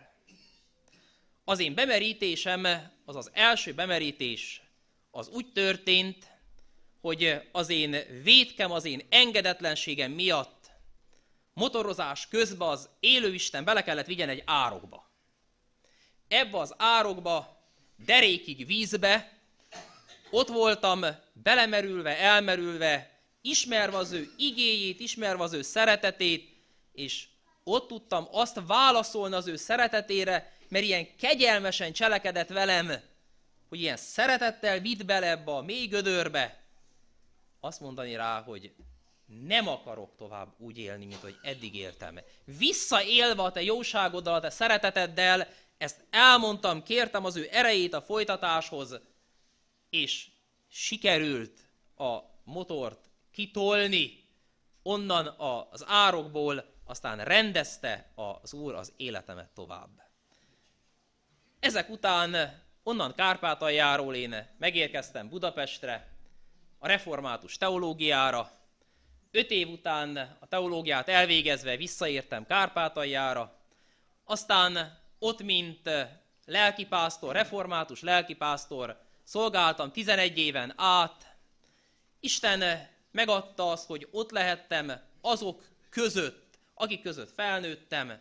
Ott lehettem első évben a teljesen közel ismerősök között a szülőfalumba, ott szolgálhattam a szüleim, a szeretteim a gyülekezet körébe, aztán vitt az úr tovább egy másik községbe, Nagyberegre, és majd a szívemet, az életemet elérve vitt tovább onnan az igazságok megvallásából, az igei igazságok megvallásából vitt tovább a református egyházon túlra, és elvitt odáig, hogy ne csak így számmal valljam meg őt, hanem valljam meg őt a bemerítésben is, valljam meg őt úgy, hogy alámerülök a bűnnek, belemerülök Krisztus halálába, hogy ha vele együtt meghaltam, akkor vele együtt éljek is. Ez az, amit az Úr elvégzett az életembe, elhozott, elvitt egészen idáig. Aztán jelen idő szerint itt lehetek közöttetek azért, hogy szóljak nektek arról, hogy nem is vagyunk olyan távol egymástól. Van egy közös ismerősünk. Nagyon sokat szokott rólunk beszélni, rólam is, meg rólatok is az atyának, Jézus Krisztus. Ismer engem, ismer minket ott, ismer engem, ismeri Béla testvért, ismeri a többieket, és ismer titeket is. És beszél rólunk az atyának. Jézus végzi és elvégezte azt a munkát, amit az atya reá bízott, ezt elvégezte maradéktalanul. De innen, hogy ő ezt elvégezte, elment, és ránk bízott egy munkát. Most erről a folytatásról kell nekem szólni. Erről a folytatásról, ami azt jelenti, ha a Zákeus életét és élettörténetét nézzük, hogy Jézus azt mondta a rábízottaknak, akik ott voltak körülötte, akiket neki adott az atya, azt mondta nekik, hogy menjetek el szélese világra, hirdessétek az evangéliumot, beszéljetek rólam, hogy én eljöttem azért, hogy magamra vegyem a ti bűneiteket, meghalljak értetek, és kibékítselek titeket az atyával. Menjetek és ezt mondjátok el mindenkinek. És voltak olyanok, akik mentek és ezt mondták, és ezt elmondták ennek a Zákeusnak. Elmondják Zákeusnak, Zákeus így hallja a Jézusról szóló bizonyságtételt. Hallja valakiktől.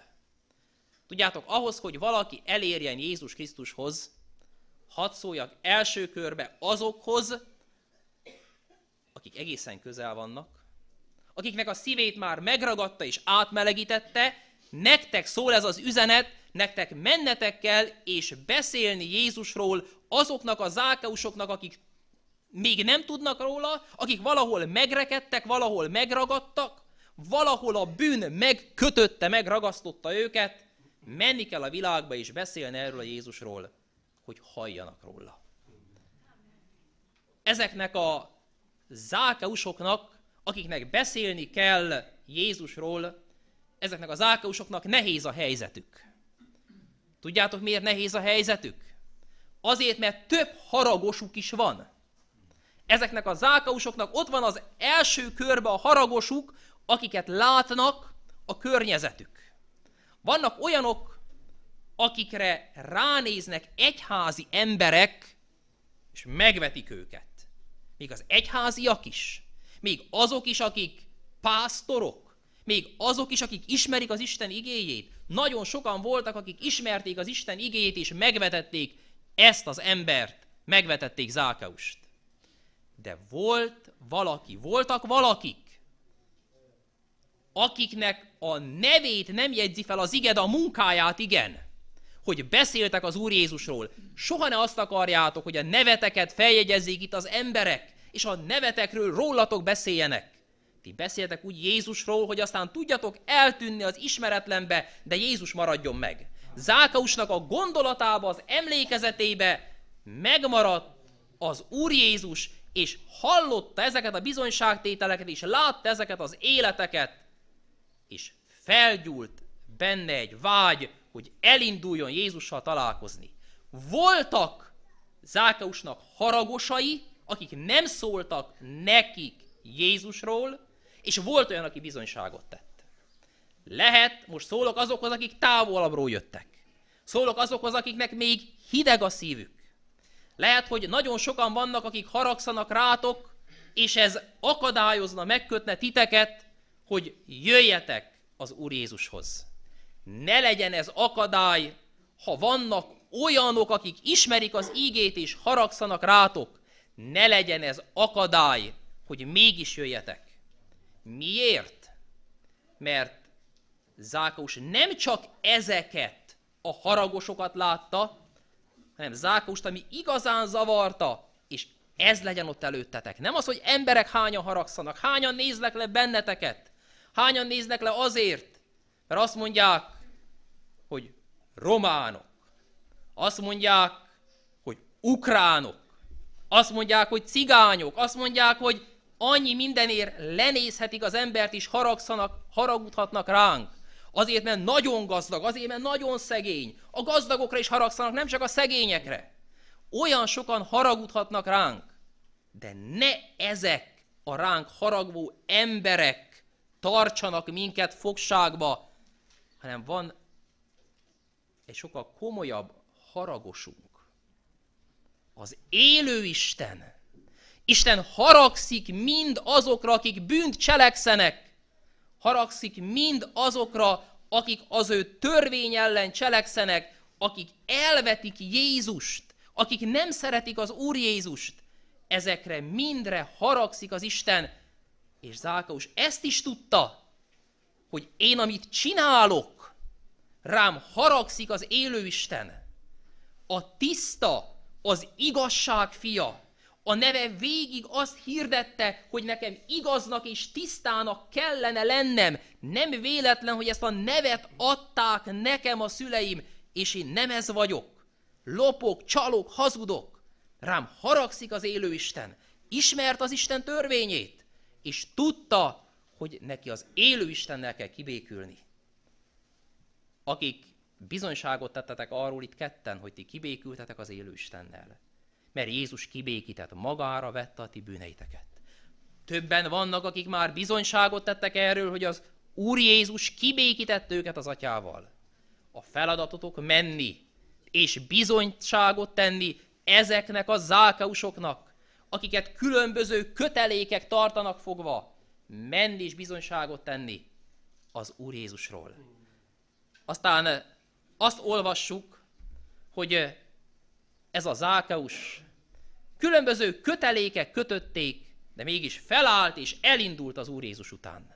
Olyan drága dolog ezt látni, hogy Zákeus feláll, ott hagyja azt a széket, amiben nem könnyű volt belekerülni, ott hagy egy rangot, ott hagy rengeteg pénzt, és elindul, mert látni szeretné Jézust. Ennyi elég. Ha ott van a szívedben, hogy szeretnél kibékülni Istennel, és közben szeretnéd látni az Úr Jézus, akiről elmondják, hogy ő kibékíthet. De nem tudsz még imádkozni. Nem tudod, hogy szólj hozzá. Nem jutottál el még odáig, mint egy szerencsétlen vakember, akiről hallottunk, hogy tudod kiáltani, tudod bizonyságot tenni, Uram, Dávid fia, könyörülj rajtam, egy csodálatos hitvallás. Nem jutottál el még idáig, nem tudsz mit mondani neki. Nem baj. Indulj el, és lehet csendbe is, testvér. Elindul csendbe, és jön a következő akadály. De hát kicsi vagyok. Alig látszott én is ki ettől a szószéktől. Kicsi vagyok, magasabbra kellene másznom, állnom. Nem számít a szégyen. Akkor majd megoldódik. Felmászik egy vadfügefára, és onnan várja azt a Jézust, akiről tudja, hogy ott kell elmenni. Tudjátok, nagyon fontos először is leküzdeni minden akadályt, leküzdeni a szégyent is, és vállalni, hogy megyek oda, ahon tudom, hogy Jézusnak el kell menni. Ez nektek vállalni kell, hogy eljöttök ide az imaházba. Tudjátok, az Úr Jézust nem lehet akárhol megtalálni. Az Úr Jézus meg lehet találni először is az ő igéjében. Megtalálható az igében, ehhez olvasni kell, hallgatni kell az élő Isten igéjét. Meg lehet találni őt azok között, akik őt szeretik, mert azt mondja, ha ketten vagy hárman összegyűlnek az én nevembe, ott vagyok közöttük. Azt mondja, hogy meg lehet őt találni az imádságban, mert aki engem segítségül hívannak, segítségére sietek. Meg lehet találni ezeken a helyeken. Ti keressétek ezeket a helyeket, ahol vele találkozni lehet. És elbújik erre a találkozás helyén, elbújik a fügefára, erre a vad fügefára Zákeus, és Jézus megáll ez alatt a fügef alatt, és annak az embernek, aki nem tud mit mondani, aki nem tudja megszólítani, aki nem tudja, hogy mit is kezdjen magával, ennek Jézus mondja a nevét. Olyan drága, amikor valaki a nevét hallja. Amikor eljössz arra a helyre, ahol lenned kell, és ott ő mondja a te nevedet, ahol azt mondja, Viktor, könyörülni akarok rajtad. És mondja a te nevedet, hogy könyörülni akar rajtad, azt mondja, szállj le, és most vajon mi lesz tovább? Azt mondja, Szállj le, mert nekem ma a te házadnál kell megszállnom. Tudjátok, kevés Jézussal találkozni az imaházba. Kevés Jézussal találkozni egy közösségbe, kevés együtt itt ünnepelni. Most azt mondja Jézus azoknak, akik jöttek egészen távolról, hideg szívvel vagy érdeklődve, azt mondja azoknak, akik felnyújtottátok a kezeteket, én nem láttalak titeket, de üzeni nektek. Vigyetek haza. Készek vagytok engem hazavinni az otthonotokba? Azt mondja, egészen haza, ma a te házadnál. És be fog menni a konyhába. Te jó világ!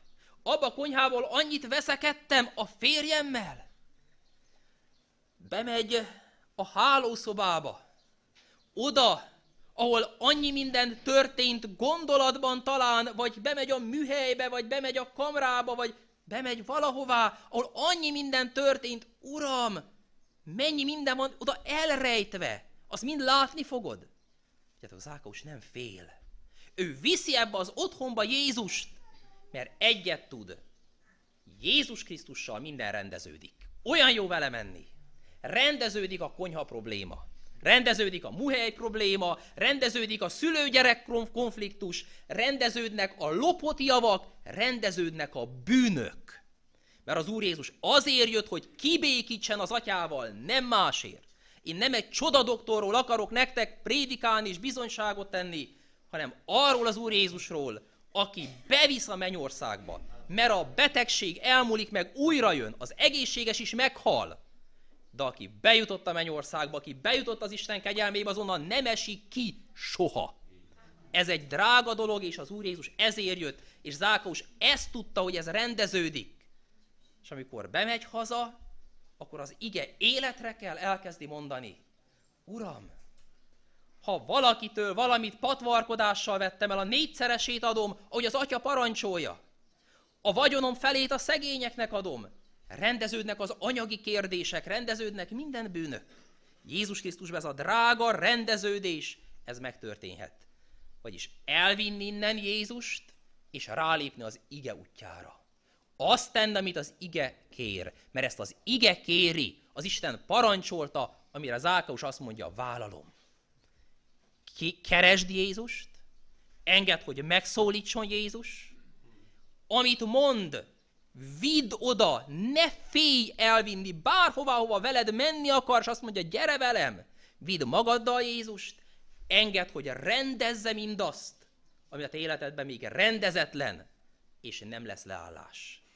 És Zákausnak egy biztos, lehet, hogy sok haragosa maradt, akiket elnyelt majd a halál, de az élő Isten, aki előtt meg kellett állni, a Zákausnak az édes atya lett, Jézus meg a barátja. Én ezt kívánom, és így megyek el innen. Legyen Jézus a barátod, Isten az atyád, az ellenségedet le fogja győzni. Amen.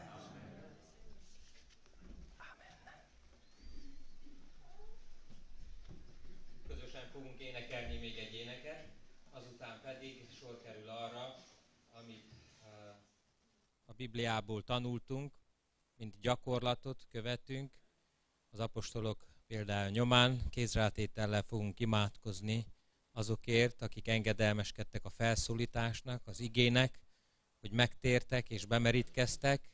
Imádkozni fogunk értük, hogy Isten töltse be őket az ő lelkével egészen, hogy legyen erejük ahhoz az úthoz, amit ember önmagától nem tud végigjárni. És azt mondta az Úr Jézus, hogy a Szentlélek, amikor eljön, az elvezet titeket minden igazságra így ajánljuk minket, így ajánljuk mi őket az Úr kegyelmébe, védelmébe. Énekeljünk közösen egy éneket, azután pedig majd a kézrátétel simátság következik.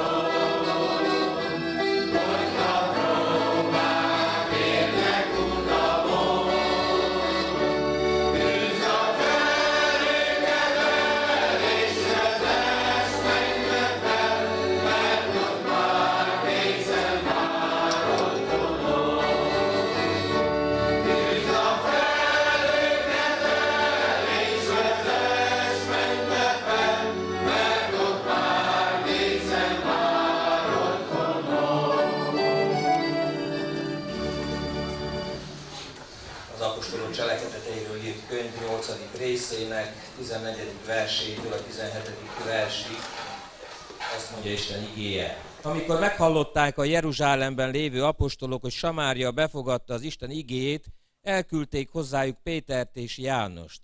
Ők lementek és imádkoztak értük, hogy részesüljenek a Szentlélek ajándékában, mert még egyikükre sem szállt rá, csak meg voltak keresztelve az Úr Jézus nevére. Akkor rájuk tették a kezüket, és részesültek a Szentlélek ajándékában. Amen. Ezt fogjuk most tenni. Megkérem az egész gyülekezetet, hogy álljanak fel, és Béla testvért pedig, hogy jön ide, és imádkozzunk együtt a testvérnőkért.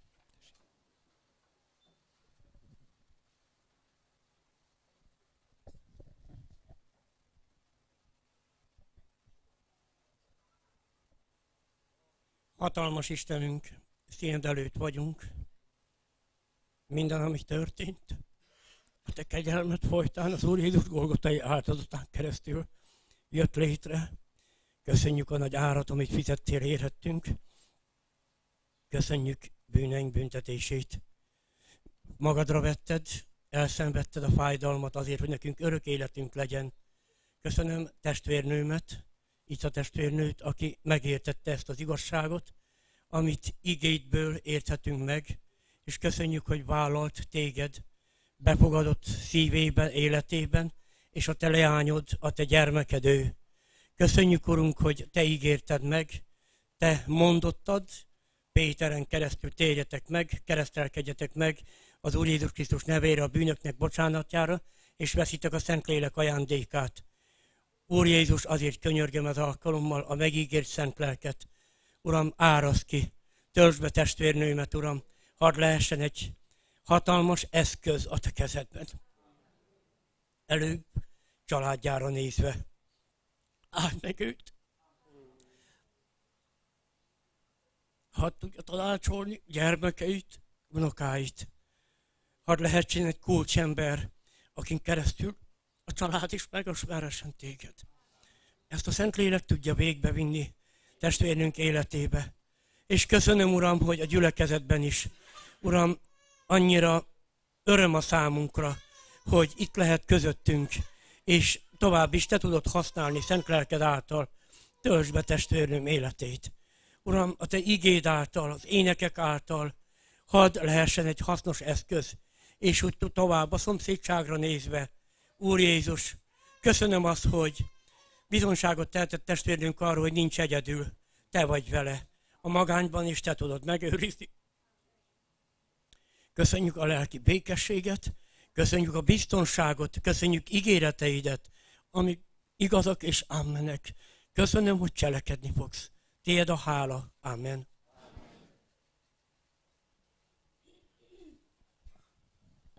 Menjen jó édesatyánk, örökkévaló Istenünk, áldunk és magasztalunk azért, amit elvégeztél a mi testvérnőnkben, Mária testvérnőnek életében. Köszönjük Úr Jézus Krisztus, hogy drága véredet érte is ontottad. Tisztára mostad, hófehérre minden bűnét megbocsátottad. Köszönjük az örök életet, amivel megajándékoztad, és azt az örömöt, amely nem múlik el soha. Áldott légy Úr Jézus azért, mert beírtad nevét az életnek könyvébe, és onnan senki ki nem törölheti. Áldunk Úr Jézus azokért, az imákért, amik érte elhangoztak. Gyerekkorában. Te tudod, Uram, hogy kik imádkoztak érte, te tudod, honnan származik. A hívő elődöket ismered, és nem hagytad, Uram, hogy elveszen az, akiért imádkoztak. Áldunk, Urunk, megtartó kegyelmedét. Köszönjük, Úr Jézus, hogy megkerested akkor, amikor egyedül volt, amikor segítségre volt szüksége, amikor a bűnrabságába volt, és ő nem tiltakozott, hanem belét kapaszkodott. Áldunk Úr Jézus azért a szabadságért, amivel őt megajándékoztad. És kérjük rá a kegyelmet. Kérjük, hogy töltsd be a te lelkeddel. Árazd el, Uram, a te erőddel hogy legyen fény és világosság a férje mellett. A szomszédságban, az egész faluban, az egész családban, Add, Uram, hogy amikor megszólal, akkor az ige hangozzék az ajkáról. Akkor kegyelem közvetítődjön azoknak, akik kegyelemre szorultak. Tudjon beszélni rólad, Úr Jézus, olyan örömmel, olyan felszabadultan, hogy megkívánják azok, akik hallgatják. Kérünk, áld meg őt még egészséggel, áld meg őt szeretettel, a férje iránt, mentő szeretettel, hogy őt is meg tudja nyerni a te országodnak. Hogy ő is ott legyen, feleségével együtt, a te gyermekeid között, Istenünk jó atyánk, a te nagy családodban. És hallgassd meg, Uram, azokat az imádságokat, amelyeket ő mond a családtagokért, a szomszédokért, mindazokért, akiket szeret, akiket meg akar menteni. És kérünk, hogy építsd be úgy ebbe a gyülekezetbe, hogy mindig hasznos tagja legyen a te testednek, akiben megdicsőíted magad. Amen. Meg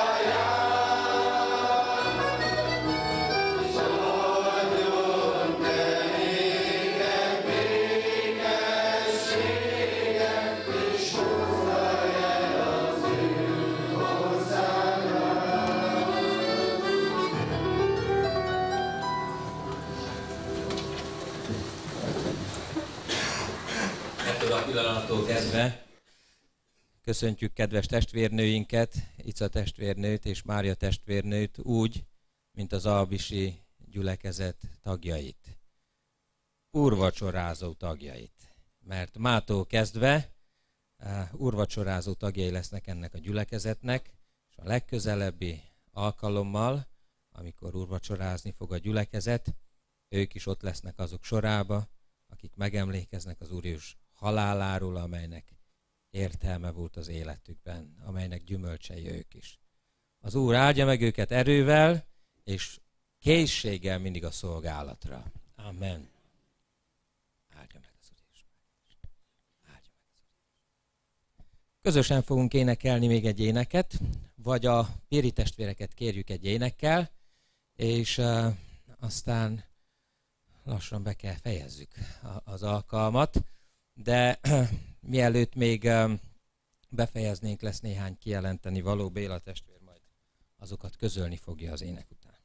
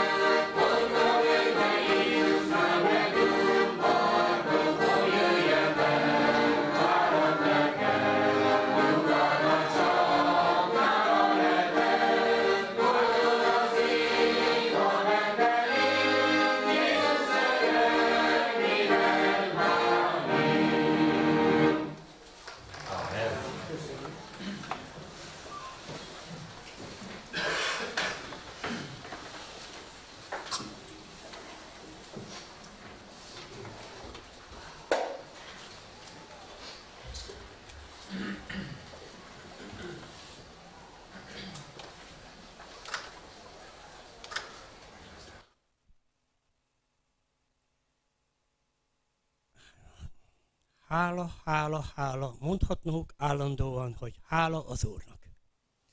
Hallottam egy bizonságtevést, hogy ha mindig azt mondanunk, hogy hála, akkor se tudnunk kifejezni igazán az Úrnak méltóképpen.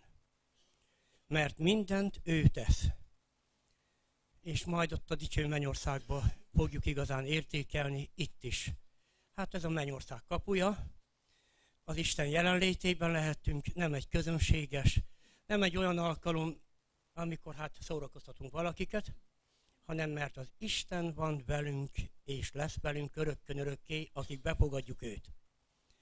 Hát nagyon szeretném megköszönni az Úrnak először, és testvéreinknek, akik szolgáltak ma délután, akiket felhasznált az Úr, sorolhatnám névről, úgy a Kéci, Péli testvérek, minden egyes jelenlevőnek, hogy megtiszteltek bennünket azzal, hogy eljöttek, hogy együtt örüljünk. Hát adja az Úr, hogy tartson ez az öröm örökkön örökké. Ne csak egy darabig, hanem valóban egy bensőséges lelki öröm hadd töltse be mindenkinek a lelkületét. Mert az Isten országa nem evés ivás, hanem igazság, békesség és szentlélek által való öröm. Az igazi hívő ember így is van. Tehát senki nem menjen el Krisztus nélkül, még ha eddig úgy gondoltad, hogy bizontalan voltál, de legyél biztos benne, az Úr be tud tölteni. Ad az életednek célt, értelmet, és egy örökös békesség, egy örökös öröm vár ránk. Szeretném közölni azt, hogy minden keddeste folytatódik a barátkozókkal való foglalkozás.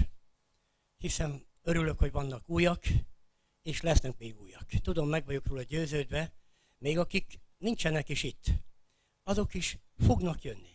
Mert az Úr cselekszik. Testvérek, ez az Isten munkája. Mi csak eszközök vagyunk. És az Úr használni fog tovább, hogy ez a szép, gyönyörű imaház, ami mondhatom, megemlítem megint egy a hármas kapcsolat. A gyülekezetek, a Roma Misszió Alapítvány és a külföldiek támogatásával létrejöhetett. Tulajdonképpen ez az Isten áldás, az Isten munkája. Hiszem, hogy be fog telni üdvözölendőkkel. Tehát keddeste barátkozókkal való foglalkozás, de jöhetnek mások is. Senkit nem tiltunk el. És csütörtök este 8 órai kezdettel, úgy keddeste 8 órai kezdettel, csütörtök este általános istentisztelet. Vasárnap délelőtt 10 órakor, délután 3 órai kezdettel. Szeretettel hívunk mindenkit. A legjobb helyre. Zsoltáros szerint csak ezerszer. Én talán még tennék hozzá. Igen. Most miután záréneket énekelünk, és zárimával fejezzük be együtt létünket, hát megkérek mindenkit, hogy senki ne menjen el, maradjon a helyén, mert a helybeli testvérnők is szeretnének szolgálni egy néhány valamennyi kis falatozni valóval. Hát fogadjuk azt is szeretettel. Most záréneket és zárimát kérünk. Álljunk fel, és úgy énekeljük az záróéneket. éneket. Hálával áldozom megváltott Jézusom. 273